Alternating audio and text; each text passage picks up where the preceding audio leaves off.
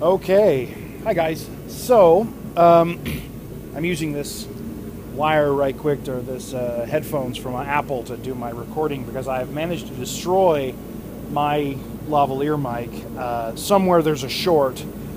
I I did pull it a couple times pretty badly, so um, this is now garbage. Unfortunately, That's, that sucks.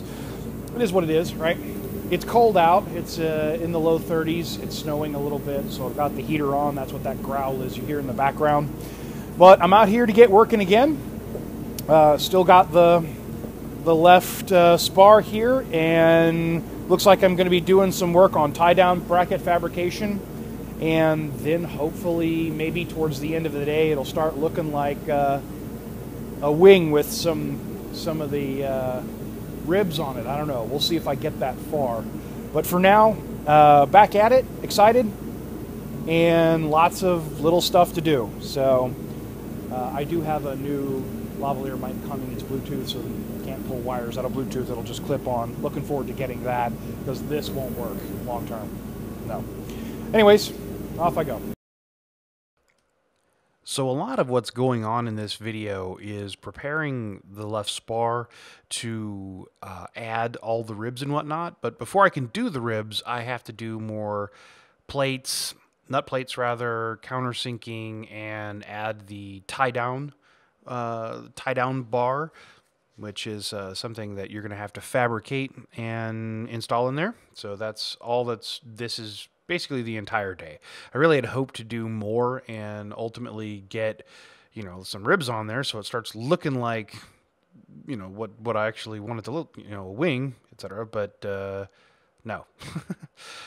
and the other thing is, is uh, you know, we talk about mistakes and mistakes will be made, and yeah, made a mistake here today. That's for sure. All I can say is, you know, read the instructions multiple, multiple times before you uh, commit. And once you start cutting metal, you have committed, right? Even then, even though I do read the instructions a lot, I can still make mistakes. And right here, I get in there and I start looking at it and I'm like, you know what? Wait a minute. And then I realize, oh no, that's the face of a man who has made a mistake. Well, remember how I said mistakes are going to happen?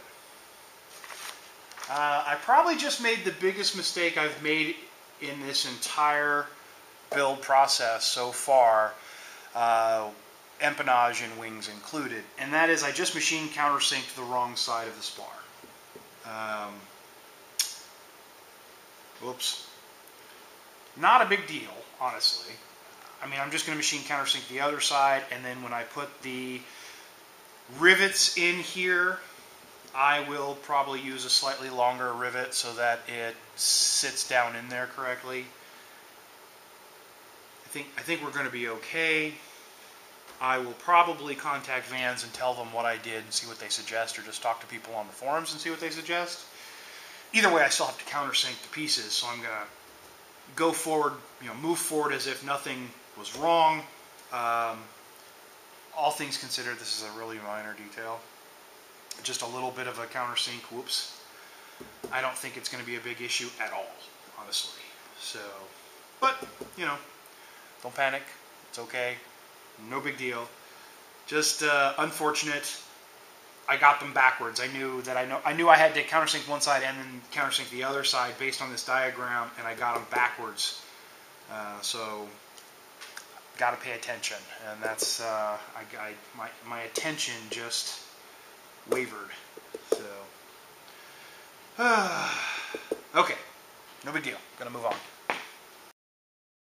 So here I continued on as if no mistake were made. I, I went and countersunk the other side, the sides that were actually supposed to be countersunk, and you know just moved on as if nothing bad had happened which was actually the best possible way forward. Right here uh, on this side though the the cage is too wide you can't actually get in there. Uh, so i ended up using the reamer and just it, it is effectively a countersink tool right? If you just push hard and twist it will eventually sink you know countersink that hole.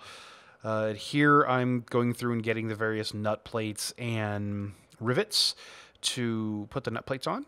Uh, also, I've heard you guys uh, in some of the previous videos, you're asking for more close up shots. Uh, and I can totally do that. In fact, uh, today's filming, which is not in the video, I did start doing more close up shots, and I will talk to that in a couple days when you see that video. For now, since this this particular footage is four or five days old at this point. Uh, it was the older format, so uh, whoops. we'll we'll get you we'll get you a little closer here soon. So I, I recognize that yeah, you really can't see much. I mean, part of it is because hey, once you've seen a rivet thrown, you've seen a rivet thrown, and that's a lot of what I'm doing here. Is I'm just putting rivets on and nut plates on, and you'll do it so much, and I've done it so much. It's like, okay, do they really want to see this over and over again? I mean, that's once you've seen it once, you know how to do it. So, eh, I don't know, but I will. Uh, I will be better about it, and the new stuff is is much better. Uh, one thing I did want to show here is towards the bottom, something I'm doing just due to the nature of where the the rivet is because it's so close to the spar itself. I'm actually using a bucking bar on the metal and then I'm using the rivet gun is actually pushing the bucking bar and then I have another bucking bar on the other side that's actually doing the work of the shop head which uh, I did not capture well and then here I'm using the squeezer to do the other nut plates that are close to uh, the edge. Every time I can use the squeezer, I'm absolutely going to use the squeezer because it just, you know, uniformity and uh, the end results. Oh, there you can see right there, I was using a bucking bar on a, you know, I was, I was using the rivet gun on the bucking bar with another bucking bar on the other side. Um, ultimately, though, I do talk to the mistake and I did make some phone calls, which I did not get on camera. So I talked to a buddy of mine about the mistake I made. Uh, called him up and said, hey, here's what I've done. Is this going to be okay? And he said it'll be fine in this area because because you're countersinking this thick piece of metal and I accidentally countersunk the wrong side of the other thick piece of metal, it's no big deal because there's enough material between those two pieces that the countersink actually didn't remove much. I've put the rivets in, you'd never know that I accidentally countersunk the wrong sides. He said if it was thinner metal, first of all, you probably wouldn't be countersinking, but you'd rather be dimpling it. But if it were thinner metal, it would be a problem because when you countersink both sides, you're going to be removing a lot of excess metal. So in this case, everything seems okay. Um, in fact, it looks great. Uh, I think it'll be fine. So, whew, right? One of those mistakes that could have potentially cost money or been an issue. In this case, it was nothing at all. So I lucked out. Uh, I just have to pay attention. It's a good lesson for all of us, right? Pay attention. You know, the whole measure twice, cut once thing. Yeah, measure 10 times and read the instructions three or four times in between before you do anything. Um, Got to get your head in the game, right? So, anyways, going to go back to it, try to pay attention, not make any huge mistakes, and um, see if we can't make this thing look like a wing. Nah, probably not going to look like a wing today. Uh, but here, so the rest of this footage is entirely about fabricating the tie down. Uh, they send you this bar, uh, and that you just have to cut. You know, measure, measure, measure, cut. Uh, and then, if you remember from the empennage, uh, something that you would do is you would draw a line uh, along a certain measurement and then use that to see through the holes. And then you line up on the holes, and that's where you drill. Here I'm, uh, by the way, here I'm going and I'm looking for my tap. Uh, you have to tap the threads in the end of the bar, and I had left my tap at home, so uh, I actually tap it later. Uh, I thought I thought I would just not do it. And I thought, you know what, I can do this. I know where it's going to be. I can go ahead and mount it, and I can tap it once it's mounted later. And that's in fact what I did. So, but here I'm going through and I'm getting all the measurements correct, and I measured multiple times. Uh, you know, because I, I had made that mistake earlier in the day and didn't want to do that again. So. Uh, then the old drill press here, one of the few times I use it. I don't use my drill press very often, oddly. Uh, but uh, using the drill press to do the pilot hole, the one pilot hole, and then you actually cleco the one pilot hole to the spar itself. then line up those lines that you had drawn on the back of it, which are straight lines, flip the whole thing over, and here I'm, here I'm actually putting the lines on the back. I hadn't done that yet. But flip the whole thing over, and then once you have it flipped over, drill uh, on those lines. You line it up on those lines, and then you know it's centered, and you just drill, drill, drill, and you're done. And it worked really well. Uh, now I'm going to speed a lot of this up uh, because my other battery here, or my other camera's battery, uh, I actually went over and checked it at one point, pushed the button to check it, and I think I accidentally hit the button to stop it. So uh, here in a sec, it'll just be the other view, not this one, but the other one only, and that's the one that we'll have through the rest of the rest of the thing here. But uh, I go through and I, I get it all mounted. Uh, there are brackets that I get put on there that you're not going to see because again the camera was off. Whoops. Um, see, I need a cameraman. Anyone want to volunteer to be my cameraman? That would make things easy.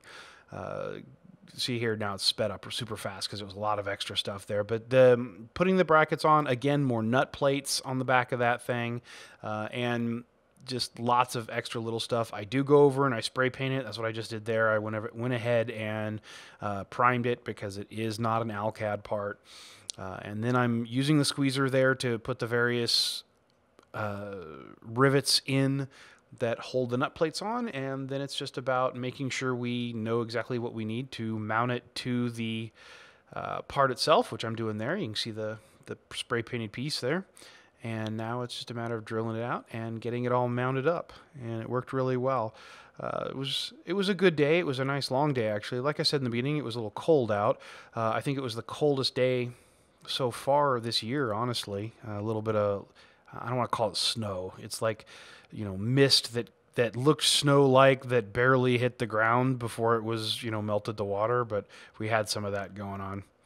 Uh, so, anyways, I'll uh, I'll let myself from the past wrap up. I've got a lot to show you. Can't wait till you see where I am today. It's actually starting to look like a wing. Hey guys, all right, so um, I'm going to call a little early today. I've only been out here about four hours, but I'm just kind of done. It's a Sunday, so I want to wrap everything up, go spend some time with the family, remind them who I am and that I still exist. Uh, today, so I finished up 13 4 and page 13 5. Um, 13 5 was all about putting this tie down bar on and doing all the various riveting and shaping and fabrication on it. Plus, you've got these these uh, crank um, brackets on the back that also are very important. So those are there now too. And uh, that's it. That's all I've done.